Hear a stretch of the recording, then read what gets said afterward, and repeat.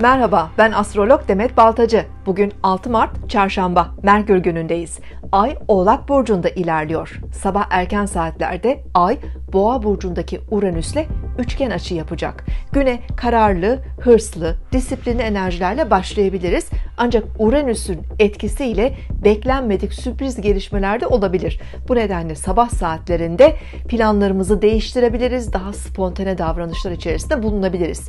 İş, çalışma, hizmet alanlarında, para ve kazançlarla ilgili konularda, alışverişlerde sürpriz fırsatlar karşımıza çıkabilir. Özellikle boğa, başak ve oğlak burçları sabah saatlerini iyi değerlendirebilir. Öğleden sonraki saatlerde Ay balık burcundaki Merkürle olumlu bir açı kuracak. İlişkilerde duygusal davranabiliriz.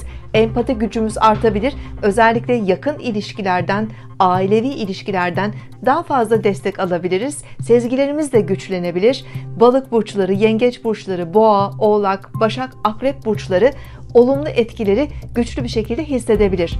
Gece saatlerinde ise Ay Neptün'le yaptığı açının ardından 22.35'te boşluğa girecek. Gece saatlerinde iç sesimizi dinlemek, tefekkür yapmak, biraz sakin geçirmek çok faydalı olabilir.